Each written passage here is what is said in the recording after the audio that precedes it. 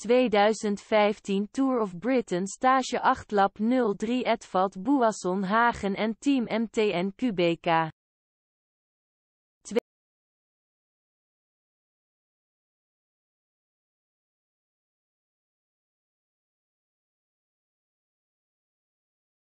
2015 Tour of Britain Stage 8 Lap 03 Edvald Boasson Hagen en Team MTN QBK